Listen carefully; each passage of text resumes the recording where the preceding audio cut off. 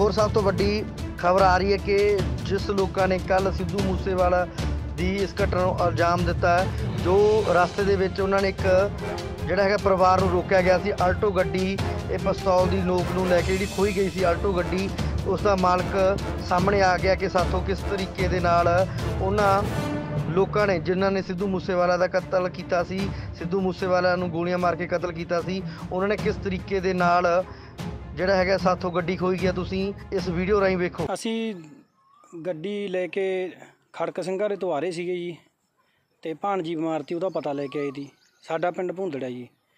ਉੱਥੋਂ ਜਦੋਂ ਅਸੀਂ ਆ ਰਹੇ ਸੀ ਤੇ ਮੰਨ ਕੇ ਚੱਲੋ ਵੀ ਮੇਰਾ ਭਰਾ ਗੱਡੀ ਚਲਾਉਂਦਾ ਸੀ, ਜਗਤਾਰ ਸਿੰਘ ਸਨ of ਮੇਜਰ ਸਿੰਘ।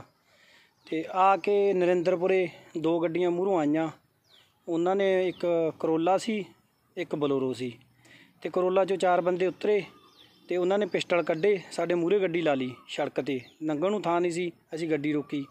ਤੇ ਉਹ ਜਦੋਂ ਬਾਹਰ ਨਿਕਲ ਗਏ, ਉਹਨਾਂ ਨੇ ਆ ਕੇ ਗੱਡੀ ਦੇ ਮੰਨ ਕੇ ਚਲੋ ਚਾਰ ਸਵੇਰੇ ਟਾਕੀਆਂ ਖੋਲੀਆਂ ਪਿਸਤੌਲ ਲਾ ਲਏ। ਦੋ ਬੱਚੇ ਸੀ ਛੋਟੇ, ਇੱਕ ਮਾਤਾ ਸੀ ਤੇ ਇੱਕ ਮੇਰਾ ਭਰਾ ਸੀ ਜਗਤਾਰ।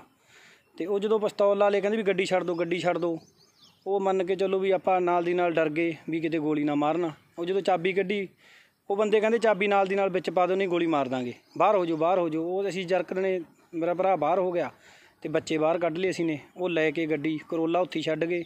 ਆਪਦੀ ਗੱਡੀ ਤੇ, ਸਾਡੀ ਗੱਡੀ ਲੈ ਕੇ ਉੱਥੋਂ ਸਮਝ ਲਓ, ਨਾਲ ਦੀ ਨਾਲ ਹੀ ਟੱਪ ਗਏ ਜੀ ਉਹ। ਤੇ ਸਾਨੂੰ ਨਹੀਂ ਪਤਾ ਵੀ ਕੌਣ ਸੀ, ਕੌਣ ਨਾ। ਤੇ ਇੱਕ ਦੋ ਦੇ ਮੂੰਹ ਮਾਂ ਬੰਨੇ ਹੋਏ ਸੀ, ਬੋਲਦੇ ਪੰਜਾਬੀ ਸੀ। ਬਸ ਅਸੀਂ ਨਾਲ ਦੀ ਨਾਲ ਜਦੋਂ ਡਰ ਗਏ ਸੀ ਨਾਲ ਦੀ ਨਾਲ ਬੋਹਾ ਥਾਣੇ 'ਚ ਫੋਨ ਮਾਰਿਆਗਾ ਤੇ ਪ੍ਰਗਟ ਸਿੰਘ ਨੂੰ, ਪ੍ਰਗਟ ਸਿੰਘ ਨੇ ਸਾਨੂੰ ਨੰਬਰ ਦਿੱਤਾ।